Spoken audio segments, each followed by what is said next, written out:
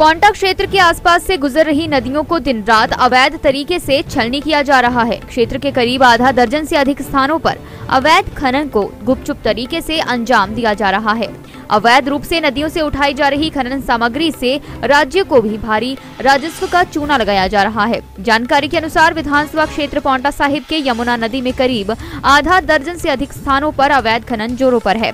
उधर डीएसपी पौंटा वीर बहादुर ने बताया, पुलिस समय समय पर अवैध खनन कर रहे कारोबारियों के खिलाफ कार्रवाई करती रहती है और आगे भी यह कार्रवाई जारी रहेगी। इसके अलावा माइनिंग विभाग व वन विभाग भी अवैध खनन कारोबारियों के खिलाफ समय समय पर कार्रवाई करता रहता है।